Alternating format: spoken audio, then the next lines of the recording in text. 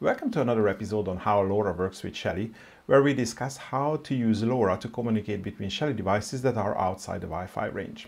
And in the previous two videos, we have seen how we can use uh, the this unit, which is our you know sender unit, to send information to this remote uh, Shelly, which is uh, let's say outside the Wi-Fi range, and or operate the outputs. And we have used this output to simulate how let's say we can open a gate motor, so we can uh, trigger this using a virtual push button, on which is configured for this device.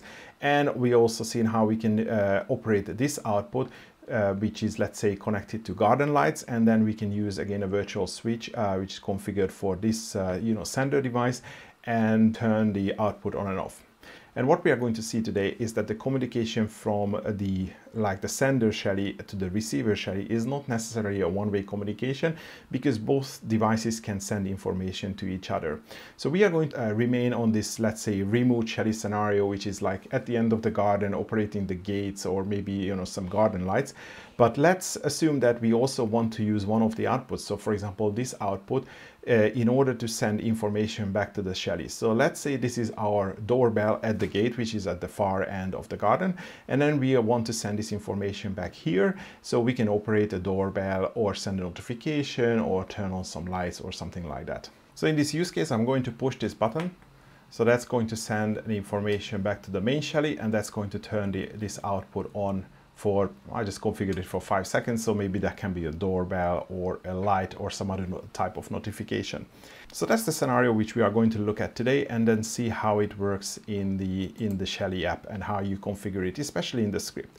So this is the first time that we are going to use both devices. So the so the Shelly 1 Gen 4, which was on the left, uh, and uh, so that's no longer going to be just a sender device. And this is why I renamed this to the gateway. So if you remember the topology, that was the Shelly, which is on the Wi-Fi um, within the Wi-Fi range, so you can communicate with the Shelly app and with all the other Shelly devices.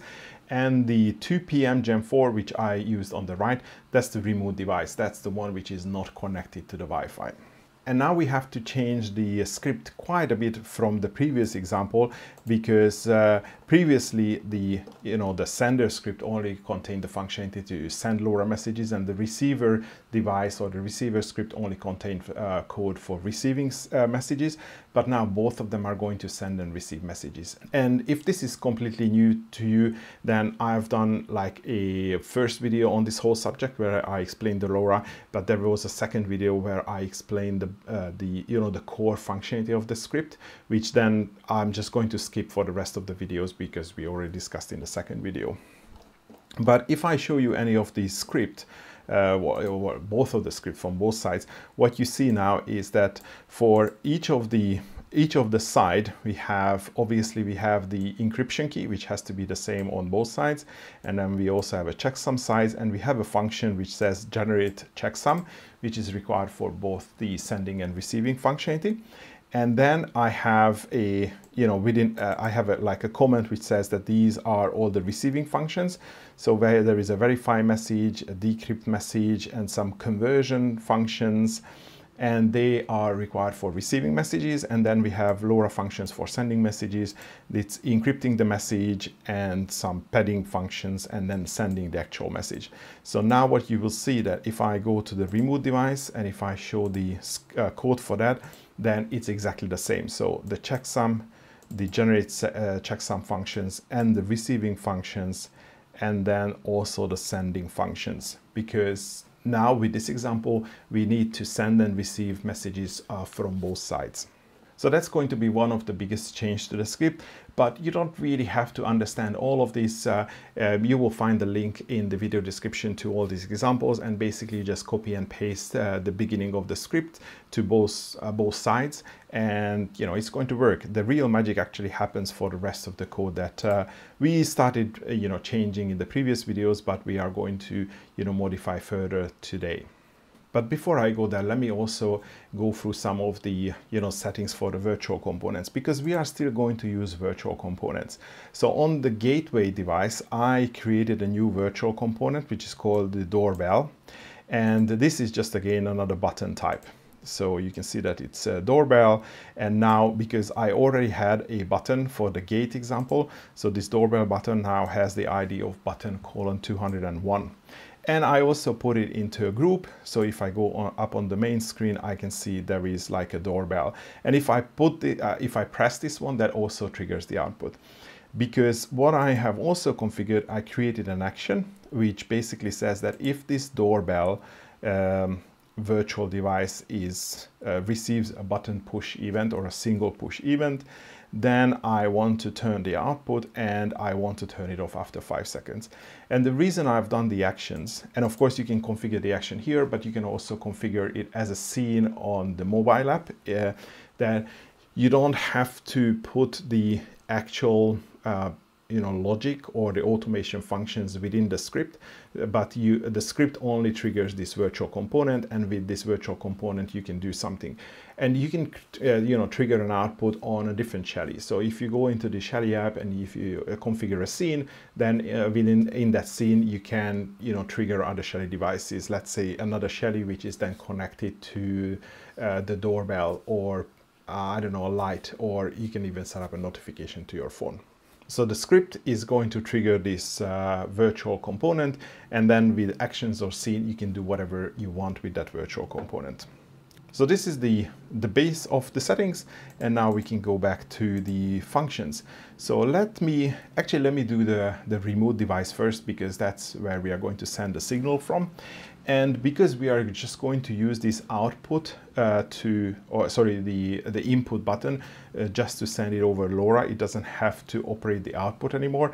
I have decoupled this. So you can see that on the, on the input configuration, input output settings, I have set is detached. So you know, pressing the button no longer operates the second output because the second output we have already used in a previous example to um, turn it on and off using LoRa messages. So now the input button doesn't do anything. It just notifies you. It creates an event within Shelly that it has been, you know, single pressed, double pressed or long pressed.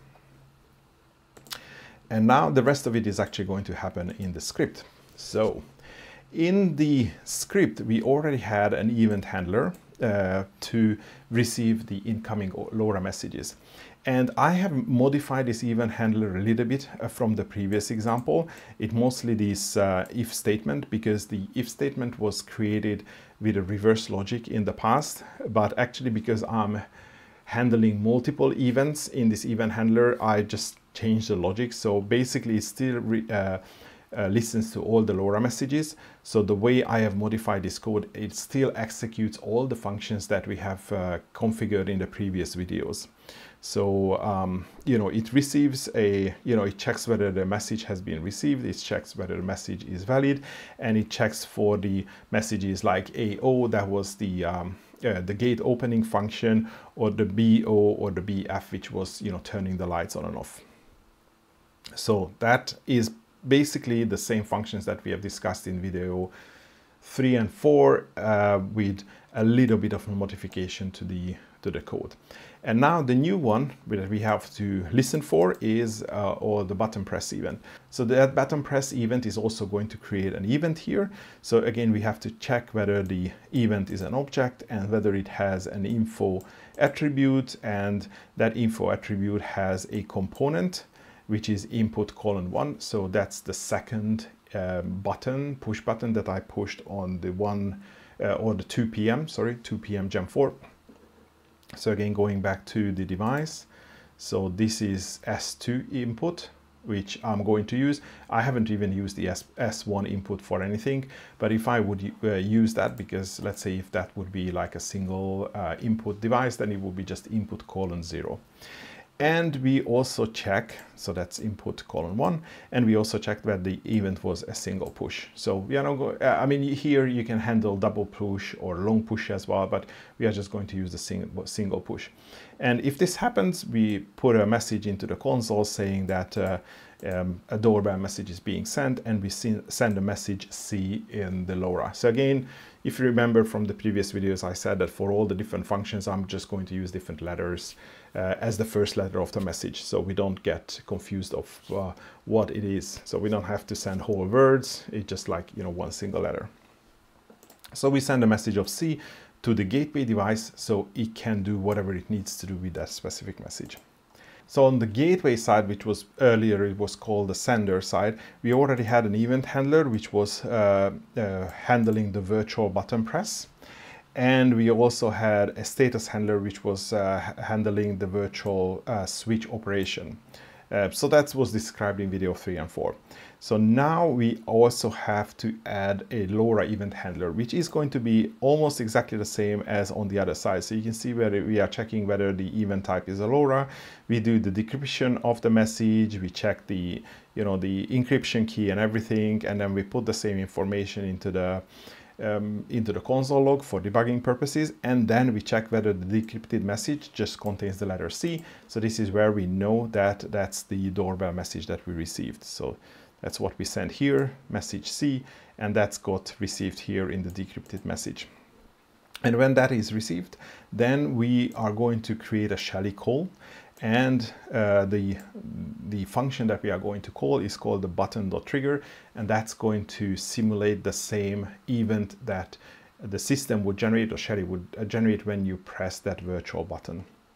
And then you have to pass two information in the ID of the button. So that's 201. So if you remember in the virtual components, that was uh, button colon 201. So that's the ID is 201.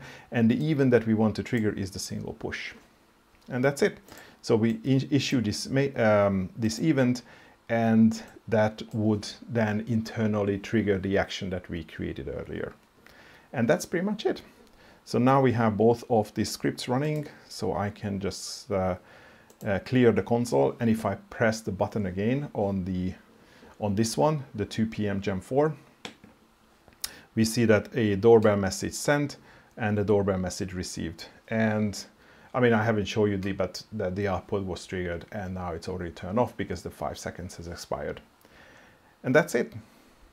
So the it is very simple to what we have done in the previous examples. Uh, the communication direction is now reversed, but this really shows how you can use uh, you know the same two devices to send data to one to another, and it doesn't have to be one directional. You can send information to the gateway to the remote device or from the remote device to the gateway. And again, with this modification of the scripts on both sides, we haven't used the function that we have created previously. So I take my um, phone again just to you know trigger one of the you know the garden light functionality. So you can see it's uh, the virtual switch is still there in my app. So if I turn it on then you can see that the the message was sent and uh, the output is now turned off. Oh I have a little bit more logging uh, shown here but if I change the view then you can see that this output is actually on. Let me turn off the light so this output is on and if I trigger the same uh, virtual button on the phone, it sends a new message and the output has turned off. And we still have the other direction as well. So door message is sent, the doorbell is activated and it has turned off. So communication working both ways between the gateway device and the remote device now. And that pretty much concludes this uh, particular scenario. As usual, you will find the example code for both the gateway device and the remote device in the video description. And I still have a couple of ideas how we can create more scenarios with this uh, LoRa and Shelly setup. So stay tuned for that. But that's all for today. Thanks for watching and hopefully see you in the next one.